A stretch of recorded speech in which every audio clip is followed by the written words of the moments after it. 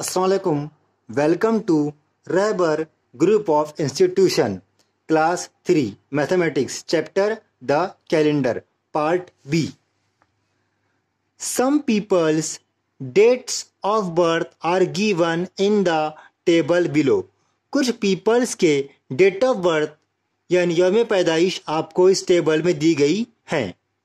Right how many years of age they complete this year on their birthdays आपको लिखना है, इस साल, यानी करंट ईयर 2021 में, उनकी बर्थडे पर वो कितने साल के हो चुके हैं? फ़र्स्ट नेम आपको दिए गए हैं डेट ऑफ़ बर्थ यानी यौम पैदाइश आपको दी गई है। एज आपको इनकी एज लिखना है। लास्ट पीरियड में हमने देखा था, मैंने आपसे कहा था, आपको याद होगा to tell someone's age, count forward from the year of birth till the current year. हमने आपसे कहा था उम्र मालूम करने के लिए पैदाइश के अगले साल यानी एक साल बाद से करंट ईयर तक हमें गिनना चाहिए। नाउ उसी रूल्स को हम यहाँ अप्लाई करते हैं। First is Sarika. सारिका की डेट ऑफ़ बर्थ है eighteen, seven, two thousand two. अब आपको सारिका की एज आज इस साल, यानी करंट ईयर में कितनी है, ये हमें शो करना है। हमने आपसे कहा कि डेट ऑफ़ ईयर जो है दिया गया, इसके एक साल के बाद से हम काउंट करते हैं। सो हम इसका डेट ऑफ़ ईयर है 2002 अब हम इसके एक साल बाद से काउंटिंग करना शुरू करेंगे। ना क्लास लिसन 2002 छोड़ के 2003 2004 2005 2006 2007 2008 2009 2010 2011 2012 13 14 15 16 17 18 19 20 एंड 2021 इट मींस जो सारिका है उसकी उम्र है 2021 में 19 years 19 years now second Mohan Mohan की डेट ऑफ़ बर्थ है 14 5 2000 अब हम 2000 को छोड़ के, यानी 2001 से हम इसकी एज काउंटिंग करना शुरू करेंगे तो 2021 तक. नाउ 2001, 2, 3, 4, 5, 6, 7, 8, 9, 10, 11, 12, 13, 14, 15, 16, 17, 18, 19, 19, 20 and 21 यानी मोहन की एज करंट ईयर 2021 में है। 21 years. Now we move to third that is Ahmed Ahmed की डेट ऑफ़ बर्थ दी गई है one two two thousand three अब हम टू थाउज़ेंड थ्री को छोड़कर यानी कि हम काउंट करेंगे ईयर 2004 से। ना listen 2004, 2005, 2006, 2007, 2008, 9, 10, 11, 12, 13, 14, 15, 16, 17, 18, 19, 20 and 21. It's, it shows that Ahmad is 18 years old. Ahmad की जो उम्र है वो 2021 में 18 years की हो चुकी है now last is Makhan Singh Makhan Singh की डेट ऑफ़ बर्थ है thirteen seven nineteen seventy seven इसे मैंने आपके लिए पहले से काउंट किया हूँ। It is forty one years हमें इस बात को ध्यान रखना है कि डेट ऑफ़ जो ईयर है आपका, वो वो साल छोड़कर उसके एक साल बाद से आपको काउंटिंग करना है। Now we move to next table now this table I read first. Write the dates of birth of the people in your family and complete the table below. आपको यहाँ पर फैमिली के कुछ मेंबर्स की आपको information fill up करना है।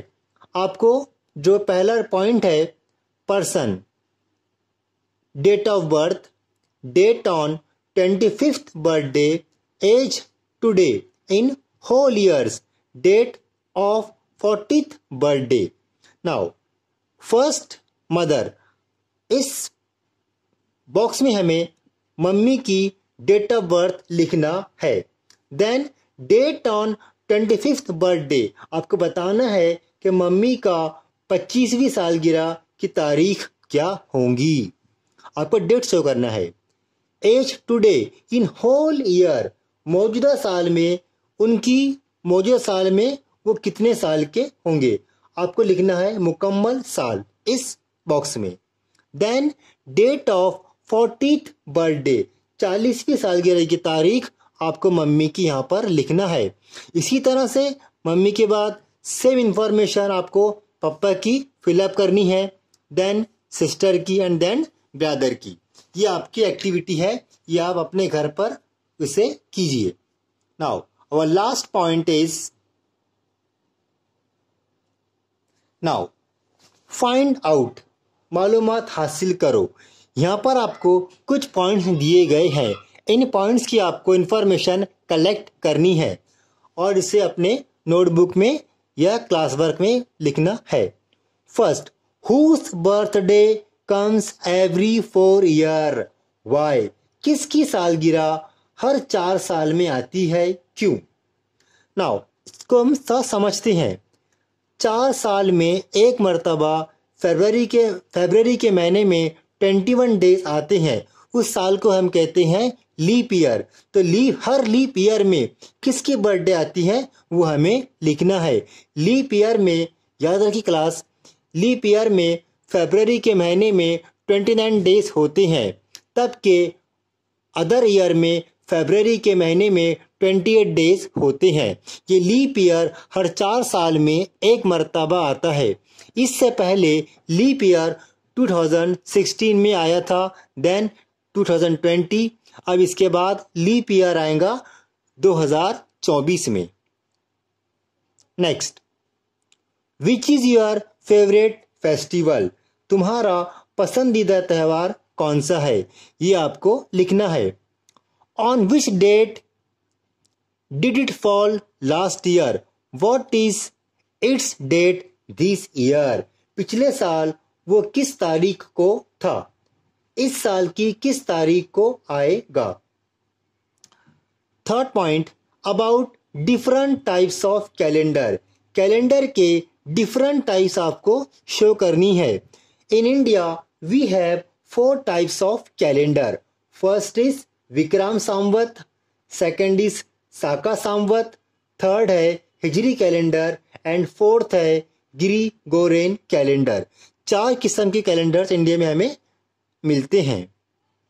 Next point how to work out age in whole years in months in days मुकम्मल साल में महीनों में दिनों में उम्र किस तरह मालूम करते हैं ये आपको लिखना है। Next our country became independent on fifteen August 1947 हमारा मुल्क 15 अगस्त 1947 को आज़ाद हुआ।